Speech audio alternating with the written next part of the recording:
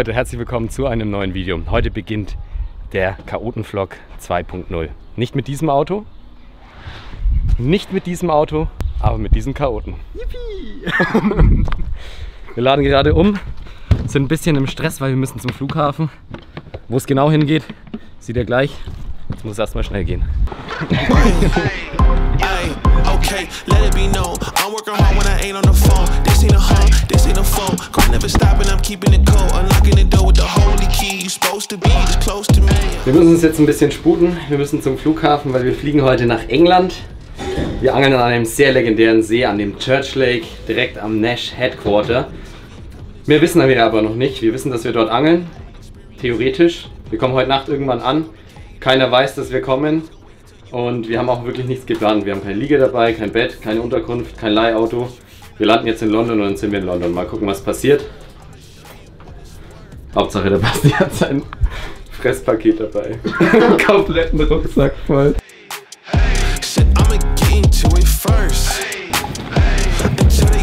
Koffer sind jetzt weg. Wir mussten nochmal schnell umpacken, weil wir etwas viele Bleie dabei haben, beziehungsweise ich. Aber alles gut gegangen. Basti geht jetzt noch pinkeln und dann geht's ab durch die Sicherheitskontrolle und hoffentlich gleich auch in den Flieger. That's the thing about me. Uh, I won't put these goals on freeze. You cannot stop me. I'm eating spinach and broccoli. Termination like I'm Rocky. Lift the heavy, no spot, please. Body bag of beating it. So, wir sind in London angekommen. Eineinhalb Stunden lang hatte der Flug Verspätung. Hier ist es richtig kalt. Wir haben uns jetzt schon mal umgezogen und laufen jetzt zu einem Hotel. Hoffentlich hat es noch ein Zimmer frei. Wir haben jetzt schon 2 Uhr nachts und es ist wirklich ein bisschen frisch hier. Ich bin mir halt nicht mehr 100% sicher, ob man da laufen kann. Wie lange laufen wir noch? Ja, schau Stücke. Weiß nicht, eine halbe Stunde. Wir sind jetzt ewig lang über die Autobahn oder entlang der Autobahn zum Hotel gelaufen. Das Hotel ist natürlich voll ausgebucht und alle Hotels im Umkreis auch. Jetzt stehen wir vom McDonalds. Das ist auch zu. Und wir haben natürlich gar keinen Plan, was wir jetzt machen. Herzlich willkommen bei Freestyle Fishing der zweiten Chaoten-Tour. Juhu! Punkt 4 Uhr. Wir sind da angekommen, wo wir hin wollten. Horseshoe Farm. Leider ist hier das Tor zu, weil alle Leute, die hier in diesem Land leben, noch schlafen, aber das kann man denen auch nicht verübeln. Hier hinter uns geht die Sonne schon langsam auf und der Plan ist jetzt wie folgt. Wir werden genau hier vor dem Tor auf dem Boden schlafen, bis irgendjemand hier halt mal das Arbeiten anfängt von den Nash-Jungs. Jetzt ziehen wir uns erstmal lange Sachen an, weil es ist echt kalt. In Deutschland sind wir weggeflogen bei 30 Grad und hier hat es angenehme 14.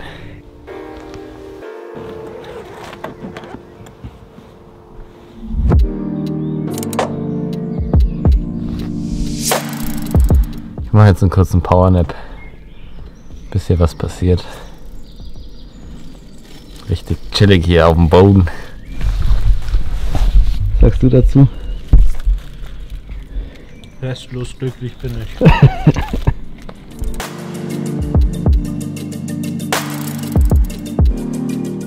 Punkt 7 Uhr. Das Tor ist gerade aufgegangen und wer hat es uns aufgemacht? Mr. Ellendle.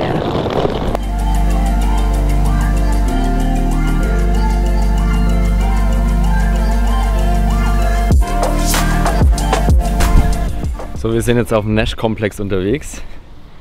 Hier ist schon der erste Weiher. Ein kleines Gewässer. Die Jungs aus Polen sind auch gerade am Start. Haben letzte Nacht auch schon ein paar Fische gefangen. Hier vielleicht ein bisschen overused, aber hier steht schon eins der neuen Boote. Wir schauen uns jetzt mal den richtigen See an. Wir angeln nicht am Weiher, zumindest nicht hauptsächlich, denn wir angeln am Church Lake.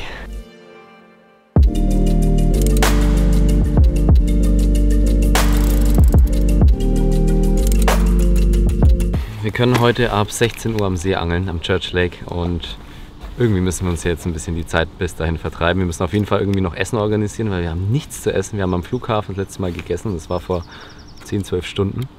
Waren seitdem eigentlich so konstant wach. Wir haben jetzt natürlich ein, zwei Stunden auf dem Boden geschlafen. Jetzt wird aber erstmal geangelt, hier ein Fisch gefangen aus dem ganz kleinen See und vielleicht arbeiten wir uns dann Stück für Stück die Seen durch und am Schluss angeln wir dann eben am Church Lake. Jetzt fangen wir erstmal einen weg von der Oberfläche.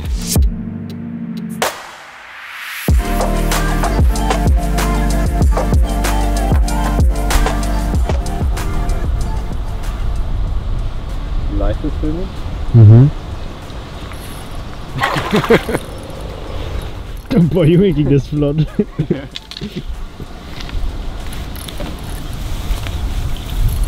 Also schneller wird es nicht passieren.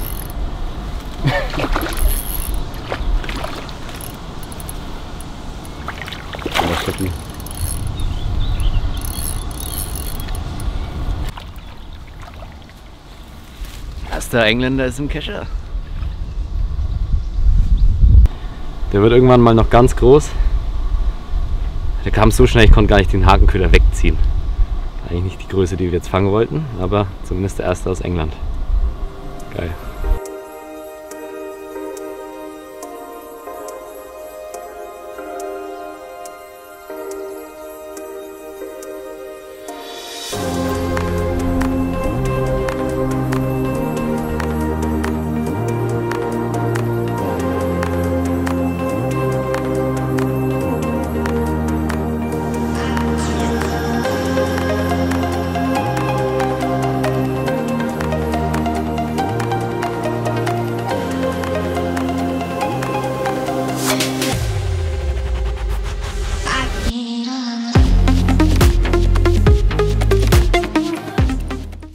Haben jetzt gut äh, 14 Stunden die Routen schon im Wasser liegen. Gestern Nachmittag haben wir es dann noch geschafft, alles zu platzieren. Ich muss zugeben, wir waren gestern extrem müde. Deswegen haben wir gestern auch nicht mehr allzu viel gefilmt. Der ganze Tag, die Anreise, es war alles extrem anstrengend. Aber jetzt sitzen wir hier. Ähm, die zwei Jungs vom polnischen Team haben auf der anderen Seite aufgebaut und haben auch die letzte Nacht schon ordentlich geangelt. Ich glaube, die haben fünf Routen gelegt in den See rein. Wir jeweils zwei. Basti eine ganz rechts oben im See, ich meine dazwischen und dann hat Basti noch mal eine ganz unten im See liegen. Und ja, gebissen hat nichts, keine Aktivität von Fischen gesehen, außer einen Fisch, der genau gerollt ist auf meinem Futterplatz, beziehungsweise auf meiner Route. Gefüttert haben wir nicht viel. Ähm, ich bin jetzt trotzdem noch mal zwei neue Rigs und werde die Routen jetzt in diesem krautigen See einfach mal raustauchen. Wir haben gerade die Möglichkeit, hier alles zu machen, was wir wollen. Und das nutzen wir natürlich auch. Deswegen tauche ich dann die Routen raus, um optimal abzulegen, ähm, weil eine geworfene Route ist natürlich nicht so genau platziert wie eine Route, die auf den Spot getaucht wurde. Ähm, verscheucht man sich natürlich auch den einen oder anderen Fisch, aber da kann ich dann wirklich sicher gehen, dass zumindest alles perfekt liegt für den einen englischen Monsterkarpfen aus dem Church Lake.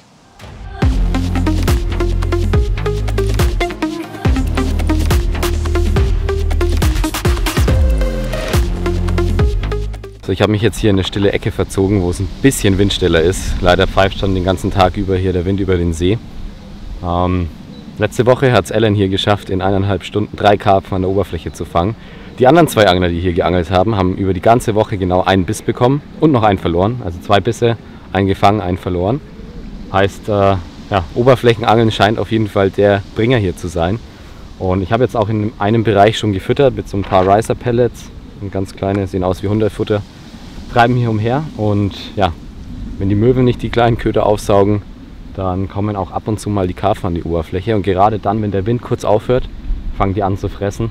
Das Problem ist, wir haben extrem viel Wind. Deswegen sind die Zeitfenster sehr kurz. Aber ich sitze da, bin vorbereitet. Wenn die Fische hochkommen, platziere ich die Route im Wasser. Und ja, hoffentlich klappt es dann mal, hier den einen zu fangen. Den einen wichtigen Fisch. Durch den starken Wind hat es an diesem Tag nicht geklappt, einen Fisch von der Oberfläche zu fangen. Dafür hat sich Ellen sehr gut um uns gekümmert und ein richtig fettes Barbecue gezaubert.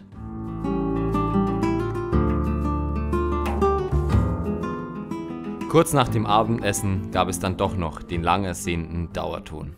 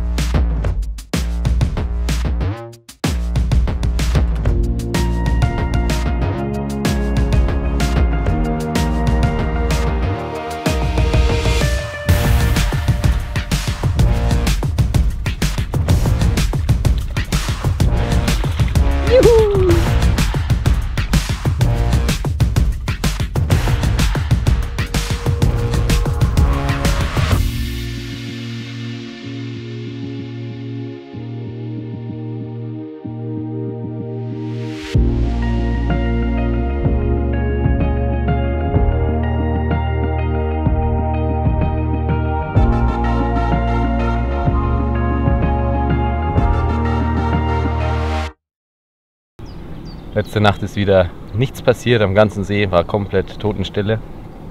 Jetzt hat der Wind nachgelassen, wir haben jetzt ordentlich Floater-Pellets rausgestreut. Die Fische fangen jetzt schon langsam an drauf zu fressen. Die Route liegt jetzt schon, treibt von rechts seitlich in den Spot rein. Wichtig ist da, dass man die Fische nicht mit der Schnur verschreckt. Jetzt heißt es warten und hoffen, dass der, der Fisch den kleinen Poppy an der Oberfläche einsaugt.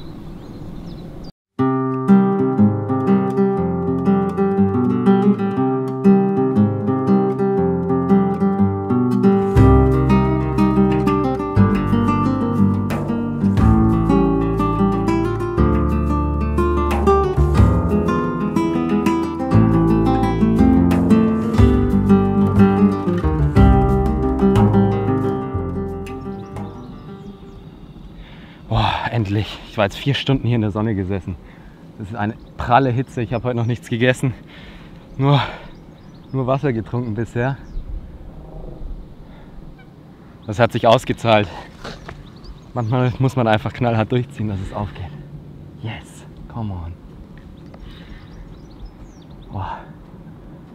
Der hat wirklich lang gebraucht, um zu beißen. Die Fische haben die ganze Zeit gefressen. Aber die haben halt eben immer nur ein, ein Stück aufgenommen, sind dann weitergeschwommen.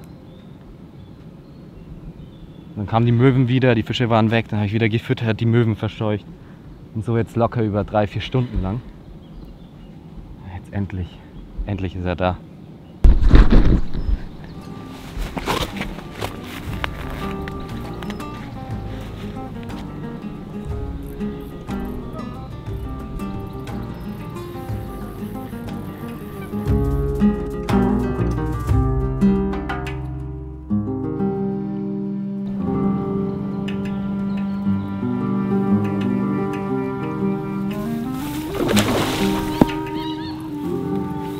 Vollzeiler. Ey, krass.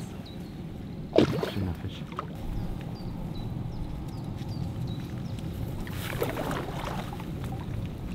Jetzt in. Yes, yes, yes, yes, yes. Ich hab ihn, ich hab ihn, ich hab ihn. Alter. Oh, Plan ist aufgegangen. Come on. Yes. Ja, für solche Fische sind wir nach England gekommen. Das kann man sich in seinen kühnsten Träumen nicht ausmalen. Was hier für Schönheiten rumschwimmen. Alter Schwede. Richtig alter Fisch. Übel dunkel gefärbt. An der Oberfläche gebissen. Besser geht's nicht. Geil. Richtig geil.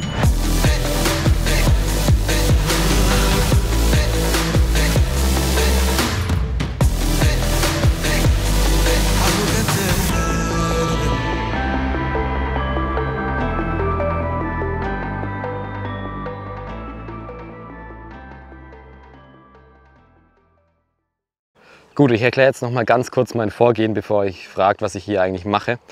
Wir haben hier eine sehr dünne monophile Hauptschnur. Ähm, ganz einfach aus dem Grund, das Ganze muss an der Oberfläche liegen bleiben und die Fische dürfen es nicht sehen.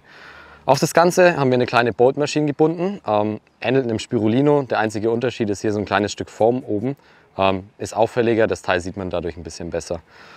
Als nächstes haben wir ein 60 cm langes Vorfach angebunden, ähm, da auch relativ dünne Monophile. Wichtig, dass auch diese schwimmt, weil wenn die natürlich absinkt, trifft das die Fische eher und das wollen wir natürlich vermeiden. Am Ende habe ich dann noch einen Sima Claw und darauf habe ich einen ganz kleinen Pop-Up draufgeschoben. Der ist auch braun, sieht den Pellets ein bisschen ähnlich. Ich habe den auch noch so ein bisschen runtergeschnitten, dass er wirklich perfekt die Größe hat. Wenn der Fisch das Ganze aufnimmt, dann hakt er sich in den meisten Fällen schon selbst durch die Boatmaschine. Ähm, gegebenenfalls kann man natürlich auch noch einen Anhieb setzen, aber die kommen hier so schnell an, dass ja, das eigentlich gar nicht mehr nötig ist. Jetzt im Hintergrund ähm, habe ich nach dem Fisch noch mal ordentlich gefüttert. Leider kommen die Fische nicht mehr so wirklich an die Oberfläche. Die letzten drei Stunden war es komplett ruhig. Lediglich die Möwen haben gefressen. Ähm, wenn die hier an den Platz kommen, gibt es eigentlich nur eine Möglichkeit. Man muss sich richtig zum Affen machen und hier richtig verrückt wedeln und fuchteln, dass die Fische, ähm, nicht die Fische, die Möwen sich ein bisschen aus dem Platz raus bewegen. Und ja, viel Futter hilft hier viel gerade. Also man merkt schon, desto mehr Pellets in dem Bereich rumdriften, desto mehr Fische kommen auch in den Bereich. Vielleicht klappt es noch, heute den zweiten zu fangen. Morgen fahren wir schon weiter ans nächste Gewässer. Wir verlassen den Church Lake, aber dazu wahrscheinlich im nächsten Video mehr.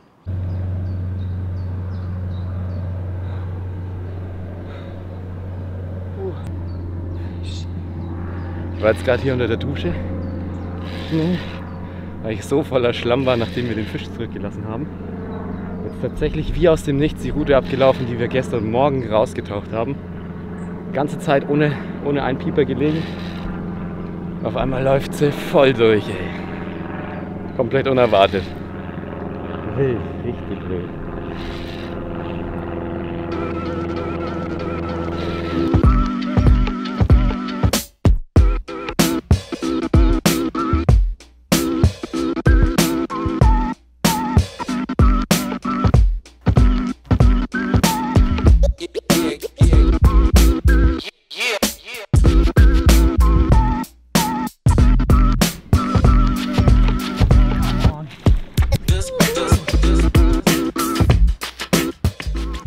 Richtig fett.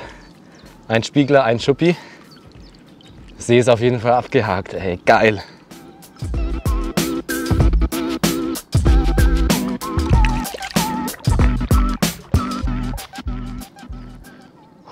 Schön, wenn ein Plan aufgeht. Schön, dass ich wieder komplett voller Schlamm bin. Das ist es mir wert.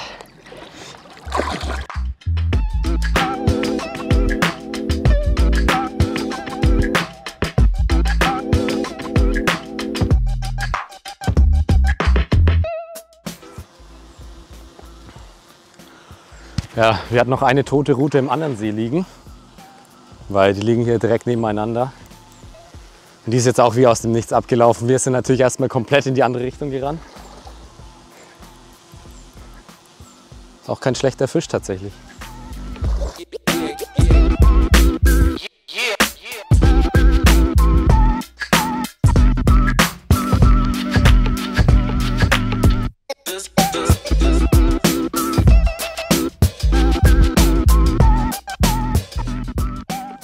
Kleiner, kompakter Schuppi, hat ordentlich Dampf gehabt. Die Route ist so krank abgelaufen. Rollen Spulenkopf war schon fast am Glühen. Darf jetzt auch direkt wieder rein. Geil. Nein, ich habe gar keine Luft mehr. Gerade wieder einen Biss bekommen auf dem Floater. Der ist ja mit der dünnen Schnur voll ins Kraut geschwommen. Hat sich festgesetzt, deswegen bin ich rein. Habe ihn freigetaucht. Basti hat dann die Route übernommen. Nur das Gute, wenn man zu zweit ist.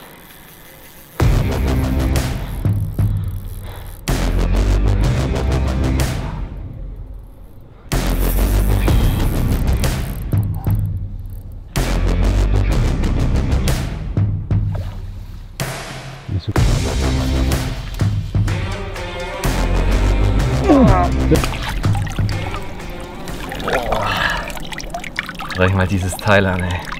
Besser wird's nicht. Richtig schöner dunkler Fisch. Geil.